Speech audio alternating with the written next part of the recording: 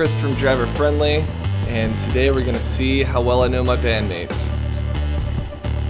Well, I'm gonna go ahead and guess Spock was Wandy, uh, or Andy, as he is formerly known. uh, I'm gonna guess Jeremy Jr. was Jeremy because it's pretty Jeremy-ish. Um, what was the other one? Sir Charles Barkley. I'm gonna go with Tyler on that one. Gilly. I'm gonna go with Juan. Wow! Good All right. I'm Andy, driver friendly. I'm going to say Beyonce's Tyler. I'm going to say Sigur Rós is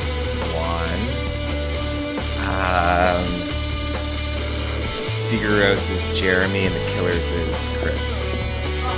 Really? Hmm. What'd I miss?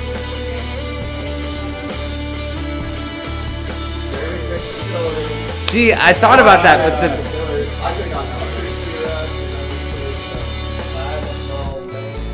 Hello, I'm Jeremy, and I'm play drums for Driver Friendly. Okay, um, the easy one, Kings Leon has to be Juan. Um, Clarity by Jimmy Eat World is probably Tyler. Um, Weird Al.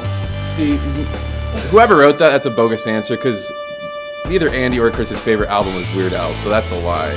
So Wandy's the quirky guy, so he's trying to be quirky, and he's trying to be quirky and write down Weird Al, which that is not his favorite album. And Chris, and I'm gonna go with Chris uh, with Say Anything um, is a Real Boy, because that's a great album.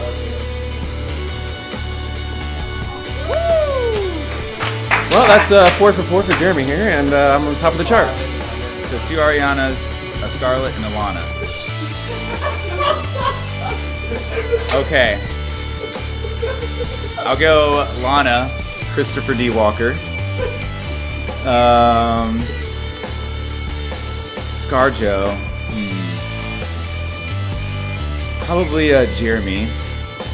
And Ariana Grande with the seven exclamations. Tyler. And then Wandy with the Ariana, I think. The other one.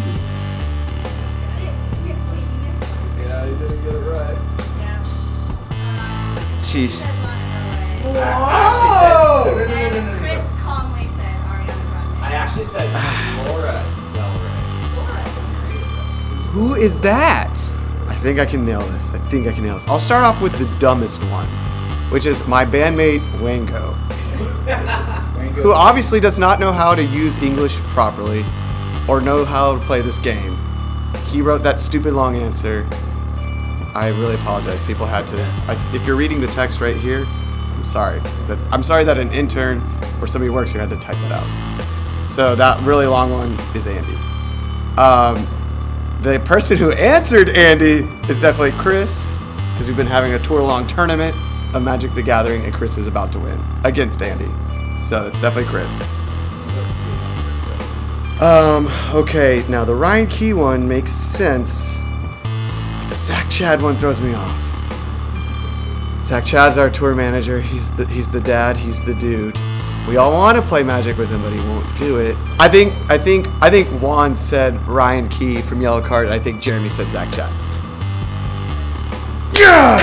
Yes! All right, so we had a three-way tie between myself, Jeremy, Chris, and Tyler. So myself, Jeremy, and Chris, and uh, and the question was, what album has sold the most um, from Hopeless Records, our record label? So my answer, well, my answer was Avenged Sevenfold, Waking the Fallen, and I wagered four points. Alright, well, I had no idea. So, just for um, the sake of playing the game, like Wingo, I went with our band. Driver friendly, wagered zero points, still at four points. Thank you. And I uh, so I thought I knew the answer, but then I couldn't remember the album title. So I think Thrice question mark album zero points. So uh, I just won with that answer. I'd like to say thank you to all my bandmates for not being as smart as me and letting me uh, win that one. Uh, total of eight points. Congratulations. I did not cheat.